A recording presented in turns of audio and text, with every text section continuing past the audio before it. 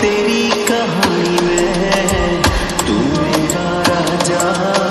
ते तेरी रानी